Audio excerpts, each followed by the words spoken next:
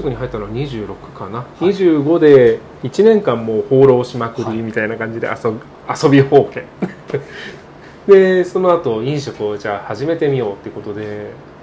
最初はね普通に、まあ、求人媒体を見てで、まあ、コンセプトがでもあるお店がよくってで学生時代にやってたところはやっぱ超大手のところだから、はい、それこそ何でも置いてますみたいな感じだったんだけどそうじゃなくてこういうこだわりを持ってやってますっていうところでやってみたいなって。でもちろんやっぱそれはそういう選んだ理由としてはいろんなところで旅していろんなもの美味しいものを食べたからやっぱ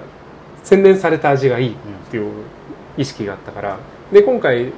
それであ最初に選んだのが、まあ、新宿の居酒屋さんであの日本酒と、まあ、お魚にこだわってますっていうところでで最初にそこで入ってで、まあ、その後ちょっとその方が独立されるってことで一緒についていって、でおよそ、えーと、と1年半ぐらいかなでそこの、えーと、お世話になったんですけど、まあ、最初はねやっぱりアルバイトで入ってきたもんでその時まともに包丁も握ったことないから。まあ何ができるって言われたら本当何もできない料理に関しては本当に簡単な誰でもできるようなことしかできないっていうのがすごい歯がゆくて。でそこからもうちょっとやっぱ技術的なものを学びたいなとかいうのもあってちょっとその先の道を考えた結果あのお寿司屋さんに行ってみようと思って、はい、日本文化でもあるしまあお寿司美味しくて好きだし、はい、みたいな。で最初はそのそこの住んでるとこの近くのお寿司屋さんに入ったんだけどでもやっぱり技術的なものはもうちょっとまあやっぱ大衆店ではあるから技術的なレベルとしてはやっぱちょっと低いものがあってでそこで大体どれぐらいかな？1年弱やってからその後あの某お寿司といえばのところに、あの寿司のおが学校をやってるっていうのを知って。はいでそこに自分で、まあ、候補としてお金を自分で払って学校として、で入ってそこでしっかり3か月間勉強っていうのをやりましたね。はい、そうか。その和食居酒屋さんとお寿司屋さんと多分その魚の扱い方とか、うんうん、もちろん切り方とか、うんうんうん、いろいろ変わりますもんね。そうですね。もちろんそこも違うしなんまあこだわりとかも違ってくるし、うんうん、やっぱそれぞれまあコンセプトがあっていいとは思うんですけど、はい、まあここでずっとやりたいっていう突き刺さるものではやっぱなかったっていうのはありますね。なるほど、うん、もっとまあ広げてみたい。自分の見聞を広める広めるじゃないですけど。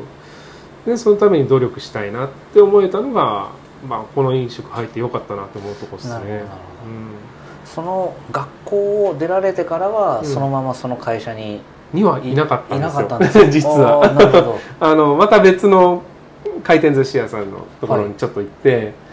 あのちょっと自由な時間が欲しかったんですよね、うん、あの自分で魚をあの触ってみる、うん、あのまあ仕事でずっとおろしてるっていうのもまあ確かにいいんですけどすごい。もうちょっと自由でいたいっていう、うん、ちょっと甘い的な考えがあって、はい、でそこに入ってでもまあ仕事自分の時間あのアルバイトで入ってでその終わった後に例えばあらを残してあるのあらを全部下ろして下ろさせてくださいみたいな感じで残って切ってたりとかそういう感じで自分で自習勉強するきっかけをくれたしチャンスもくれたからもうそこの人といまだに仲良くしてて。なるほど。いま、うん、だにちょっと顔を出しに行くと「あいらっしゃい」みたいな感じで迎えてくれますね。なんかあれですねその高校も高専に行かれたのもそうですけれども、うんうん、ちょっと研究熱心といいますかなんか自分でこう仮説を立ててこれをどうやってこういい味を出していくかとか、うん、どうやったらスピードアップできるかとか、うん、そういうのを考えるのがお好きなのかもしれないですね。そうなのかもしれませんね。でも高専選んだ理由はあの就職率でした。すいませんあの本当に氷河期世代でしたのであのどうしようかなって悩んだ結果の高専ではあったんですけどまあでも結果的にその研究するっていうのは楽しいなっていうのは確かにそこら辺は合ってたのかもしれないですね。いま、うん、だにその研究っていう形でねやっぱそうですよね。いっぱい失敗はしてますから。でもその先に美味しいものとかなんか自分が目指すものがあるわけですからね,、たくさん失敗しないことに。なるほど。でその今もお付き合いがあるお寿司屋さんで働かれて、いよいよいよいよなんですか？そううどん屋に入るのかと思いきや、はい、そこでまた変わります。あのもともと海外行ってみたいっていうのがやっぱあったんですよ、はい。で寿司をやった理由の一つとしてもやっぱそれがあって。それがあれば海外でも働けるんじゃないかう、うんそうジャパレス行けば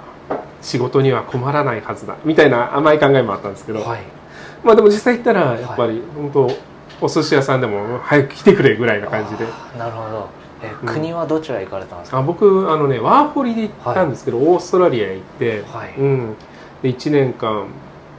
しか滞在できなかったんですけど、ちょっとあの年齢ギリギリで行ったギリホリってやつで、なるほど。29とか。29でも、えーとね、30までかな、うん一応。なるほど。30までしかそのビザの申請ができなくて。でビザの期限がさらに1年なんですよ。はい。だからその取ってからさらにギリギリまで寝かせてで入国した時からさらにそこの期間が有用有効期間が1年になるんで。でなるほど。32ぐらいで帰ってくるって感じになりましたね。なるほどなるほど。31の入国で、うん、ああそうか。でもじゃあそこでちゃんとその自分が思い描いていたようなうん。形でレストランでも働けて、現地の人とも交流ができてってことですね。うん、そううまくもいかなかったですけどね。あ あのできたらそれこそお寿司握りたいなっていうのはあったんですけど、はい。やっぱりその現場で働く人のスピードはとても速いから、最初はもうそれには全然ついていけなくて、なるほど、うん、でしかもオーストラリアっていうかあの海外だとロールがメインになるんですよね、でそうなると僕ロールそこまでまあ早くはまあやり方はもちろん巻き方してたし、できなくはないけどスピードは出せないってことで。今までとはちょっと違いますそうよですね。世界がやっぱ違いましたから。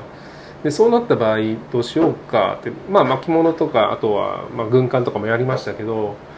やっぱそっちにはもうちゃんとしたポジションの人たちがいたんでで僕やっぱりオーストラリアあのワーキングホリデーだから短期なんですよ。でその場合まあ今弱いセクションのところを担当してくれっていう感じになってで結果入ったのがキッチンっていうかまあ裏方裏方というかまあなあのお鍋作ったりとかうん。揚げ物したりとかそっち系になったって感じですね、なるほまあ、ただそこでもその社長さんに気に入ってもらえて、そのフィッシュマーケットとか一緒に連れてってもらったりとかしょっちゅうしましたし。で新しいメニュー。まあ日本で作ってたのいろんなものがあったからでこういうのあこの食材があるならこれやってみたいって感じでいろいろ食材やってたら結構受けてましたね、現地のお魚とかにもたくさん触れることができたってそうでことですすね。ね本当いい会社に入りましたよその時は。まあ結構しごかれましたけどね。でもその現地の市場を除くとまた現地の暮らしとかも見えてくいるのでそれは本当面白いにですよね。非常にいい経験でしたね、うん。あちなみにそのフィッシュマーケット行く時はあの時給発生してなかったんですけどね。まあ修行時あ代とれそうそういうことで。そうそうあれ僕お給料ないんですか？ここって言いながら。まあでもすごい楽しんでたから全然良かったですけど。コーヒーを待ってもらったしいいかなみたいな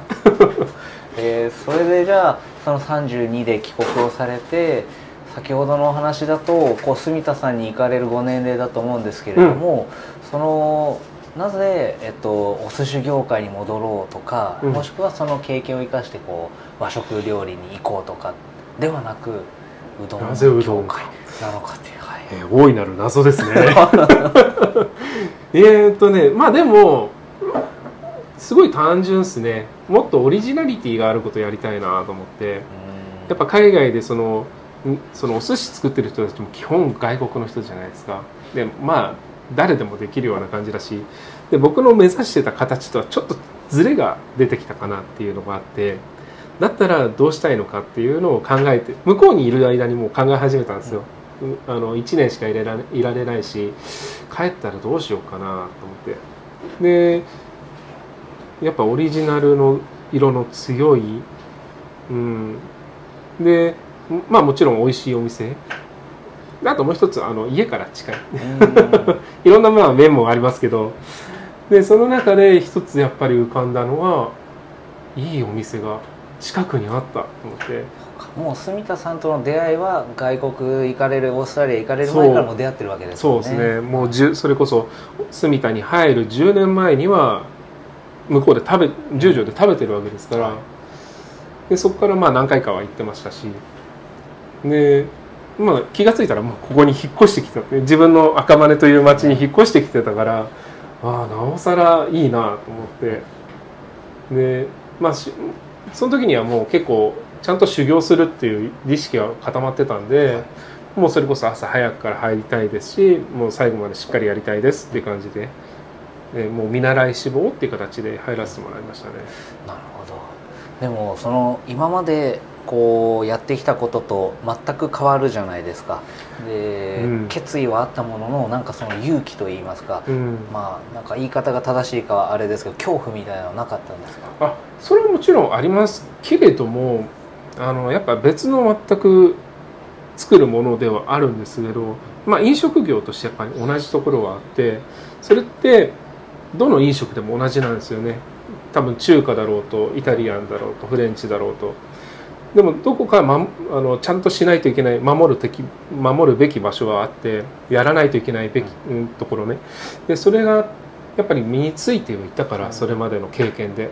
でそれで多少畑が違うだけであってでやるべきことは一緒だから。そこまでそれこそ戸惑うことはなかったですね。うん、な。るほどまあ、結構ビビることはありましたけどね。住田 さん怖えみたいな感じで。そうなんですね。それこそうん。最初はねやっぱりなんだこいつ状態で入りますからね。あそうか、うん、そんなにこう毎日毎日通って入れたわけじゃないですよね。特にその1年2年は、うん、はい。で帰ってきてやっぱそれこそ一番最初にとりあえずここ食べに来たんですよ、うん、もうその時にはいいお店ここで働きたいっていう意識があったから。でその時に入って食べてああやっぱり味も美味しいし、まあ、お店の雰囲気もすごいいいし。で、まあ、ももちろん日本酒は好きだったからあ全部揃ってるなって思ってあじゃあここしかないっていうので決意が固まってで見習い志望で入ったって感じですかね。その見習い指導志望で入られて、まあ、ちょっと怖いっていうお話今ありましたけれども その住田さんの指導っていうのは、まあ、なんていうんですかねこう背中で語るタイプだったのか結構細かくいろいろ教えてくれるタイプだったのか。いやちゃんとしたでも職人の方ですのであの最初はねしっかり教えてくれるんですよ。すごい優しい方で。ただそれはやっぱ何回も同じことは聞けないですしもちろん。言うこと向こうも言わないですし。だから自分で疑問に思ったこととかは聞いていかないといけないっていう形。まあただそれってでもどこでも一緒だと思うんで。でそれを守りつつあとはあのだいぶ僕はあのそれこそオーストラリアでチャランポランな感じでやってたんで あのだいぶ人間性をビシッと正されましたね。そこで。なるほど、まあああんまりちょっと細かく言うと僕があの株下がっちゃうんで。言わないですけども。ちょっとだけなんかそのやっぱりそうか。オーストラリアでの働き方とかライフスタイルが、うん、まあちょっとなんですかね。日本式にすぐは戻らなかったですね,、ですね。いやまさにその通りって感じですね。最初のうちは結構注意されたりとか。まあ怒られるってほどではないですけどまあしっかりと言われましたね。うん、住田さんはお母様が確か香川県ご出身ですもんね。それでよくリサーチされてる。それで香川ご出身で香川でも修行されてっていう方だからこそ、もう本当今の話ですけど職人として、まあ、きちっとやってねっていうことその愛の指導だったんですね。そうですね、もうやっぱ話を聞くとすごいしっかり修行もされてて、うん、でやっぱそういう経験があるからこそやっぱそうやって人を育てていけるんだなっていう、それを考えるとまだまだ僕は甘いなっていう感じもあるし、うん、なんだろうまあもちろんその働く人たちそれぞれの覚悟的なものはやっぱ必要だと思うんですよね。でまあ普通に従業員として働きたいなって思うんだったらまあいらないのかもしれないけど僕はそういう人とあんまり働きたくないっていう感じでしっかり自分で意識を持ってで将来自分でお店を持つならば何をしないといけないとか、その課題とかを自分でその考えられるような人じゃないとっていう感じはあるんで、まあ、僕ももちろんそういう感じで修行してきたわけですしやっぱり飲食はすごいそのお店残らないじゃないですか、うん、継続するのが難しい業界なんで甘い考えで入るのは本当にやめた方がいいっていうのは、もう意見としてありますから。なるほど、その住田さんに入られた時は、うん、えっと、独立を前提に、うん、まあ、入られていてで、えっと、2年経ったぐらいからその住田さんからどうってお話をもらったっていうのを別の記事で読ませていただいたんですけれども その何ですかねえっと実際お客として来ていた時と働いてみた時で印象も変わるじゃないですか、なんか1年2年働いてみてこのうどん業界に対する思いとか熱量っていうのは変わってなかったですか？もうより強まってたんですか？えー、っとね結構そんな難しいことまで考えてなかったな。とりあえずまあ最初のうちはそれこそ甘い考えで2年ぐらいで独立したい的な話をしてたんですよ。でそのためにはやっぱそのうどんの知識を高めないといけないしその本当に難しいんですようどんって。あの毎回同じようにできないし、でお出汁もやっぱ同じように作ろうとしても毎回同じようにはできないし毎回毎日味見してあ今回はちょっとっていう日もあればおなんで今回今日こんなに美味しいんだみたいな日もあるし。うんでやっぱ自分のことしかでも考えてなかったっすねそうなると、そこまでそのうどん業界に対してとか一石を投じるとかそういうこともないし。でかといって自分の野望的なところはないしそれこそお店いっぱい持って頑張って成功したいんだっていうのもなかったしどっちかっていうとさっき言ってた研究系の方が出てたのかな。自分の好きなところだけを追求していったっていう感じが強いかもしれないですね僕自体。でそれがやっぱ変わってないですね。やっぱ入る前と入った後で。うん、